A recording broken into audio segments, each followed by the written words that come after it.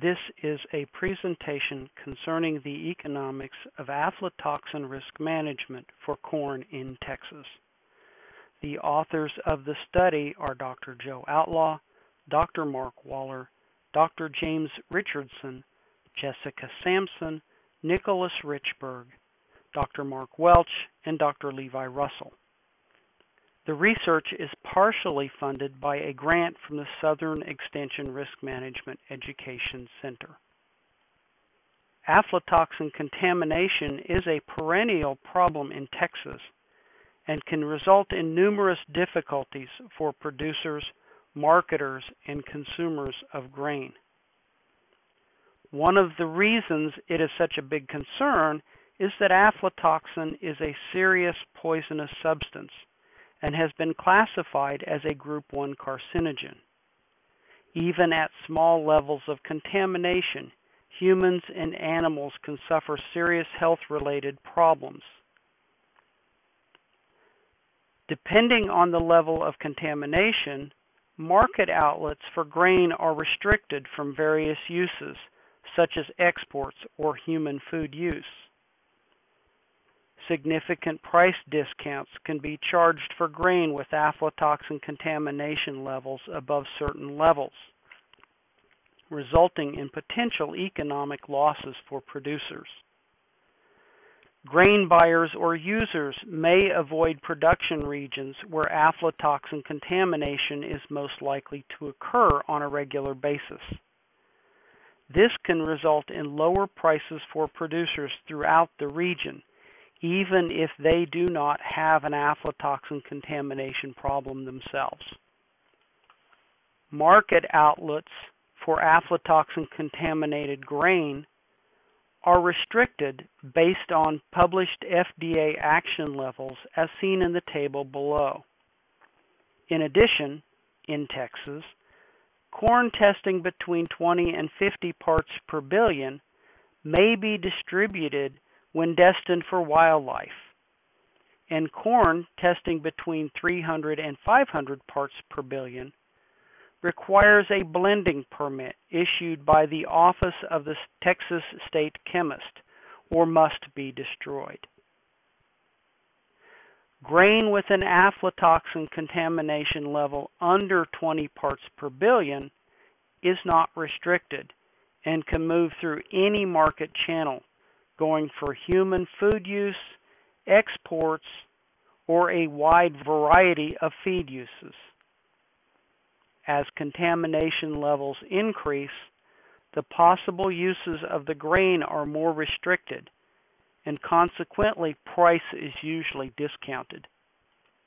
As seen in the next slide, corn with an aflatoxin contamination level below 20 parts per billion usually does not suffer a price discount. However, as contamination levels increase, the price discounts tend to increase as well. While the discount table presented here is from a Central Texas elevator during the year of 2013, discounts in other years may be smaller or larger depending upon overall supply and demand conditions and the amount of aflatoxin contaminated grain being marketed in specific years. In recent years, producers have begun to increase the use of products they call atoxigenic products that utilize strains of Aspergillus flavus that do not produce aflatoxin. Producers apply these products in hopes that the atoxigenic strains will make it to the corn first and prevent the aflatoxin producing strains from colonizing and producing aflatoxin. Two such commercially available products are named AF36 and Afla-Guard.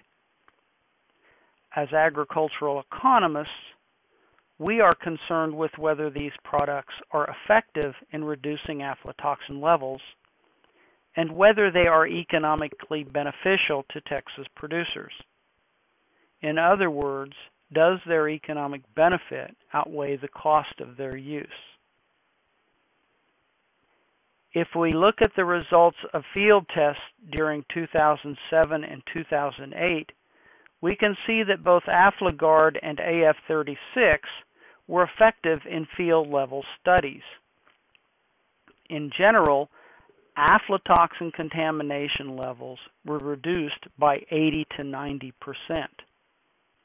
However, multiple plot trials conducted by Texas A&M AgriLife Extension Service faculty across various Texas locations during 2011 showed more variable results in their ability to reduce aflatoxin levels.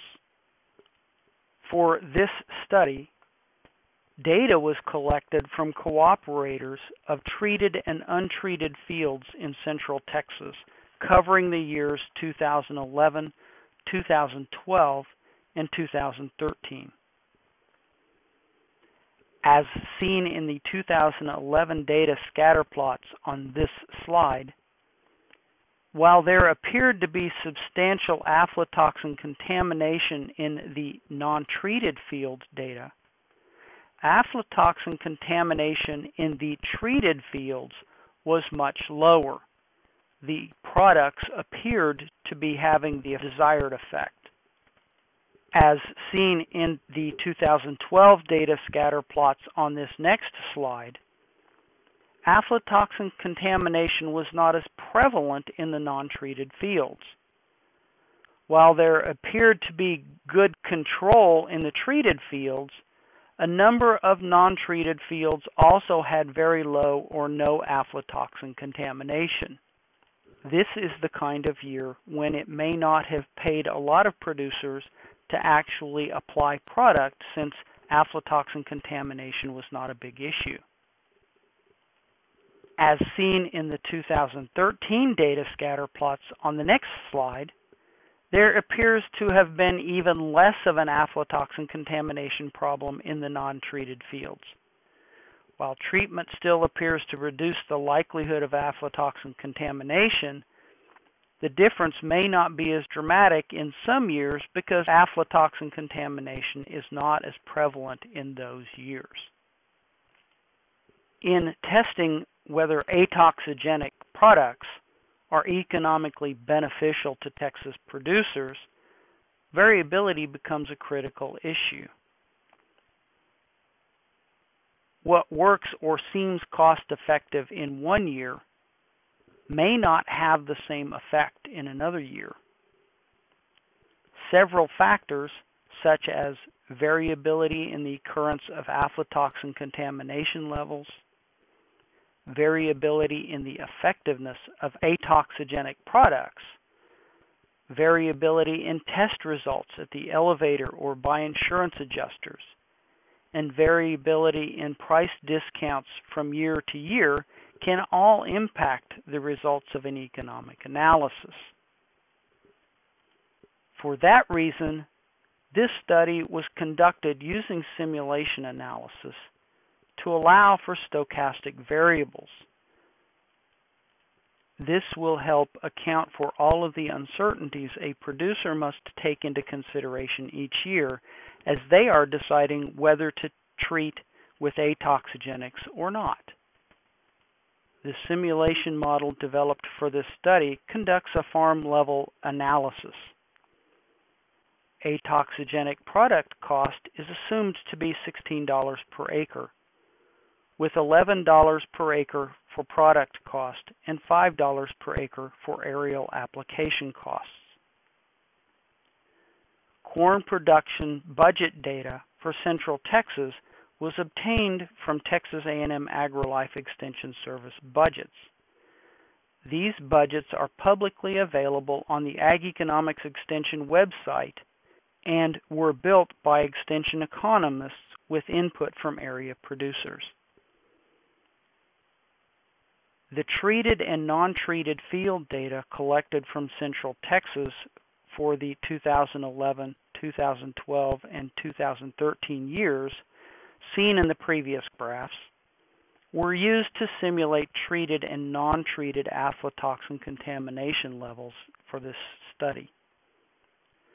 The stochastic variables those allowed to vary or change across the simulations in the model include yield, local market price, aflatoxin test results, and crop insurance indemnity payments.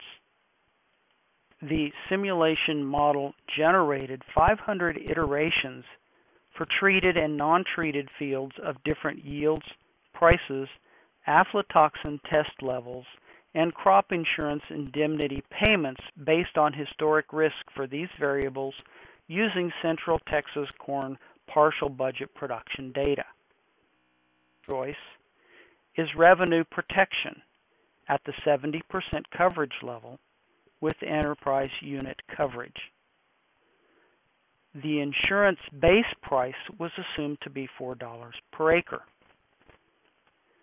The APH was assumed to be 75 bushels per acre. The simulation analysis results showed a clear difference between treatment and non-treated scenarios in the percentage of truckloads that tested over 20 parts per billion of aflatoxin. In other words, the simulation results suggested that the atoxigenic products were effective in reducing aflatoxin contamination levels. Keep in mind that this result is a function of the three years of Central Texas data used in this analysis. Different data from different locations could possibly provide a very different result. The average revenue for treated fields was $18 per acre higher compared to the non-treated fields.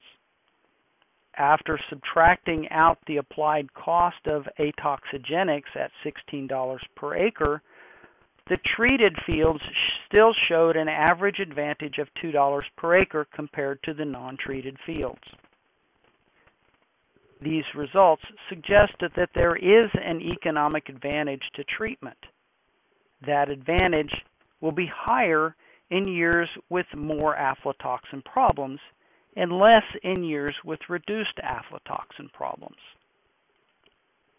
While this analysis suggests an economic advantage to treatment with atoxigenic products, it may underestimate the true value of those products since it does not take into consideration the impact of aflatoxin contamination on the price discounts that may be associated with the regions that have a reputation for aflatoxin contamination problems. These benefits may show up as improvements in the cash futures basis relationship over time and reduced handling and segregation costs at the elevator. If these benefits do exist, they would just further increase the advantage of treatment over non-treatment. A downloadable Excel spreadsheet has been developed and placed on an extension website so that producers can conduct their own analysis using their own data. That website is listed at the bottom of this concluding slide. In addition to that Excel spreadsheet, there are also two fact sheets that may help explain more about the economics of aflatoxin risk management and this study. This concludes the presentation. Thank you for your time and attention.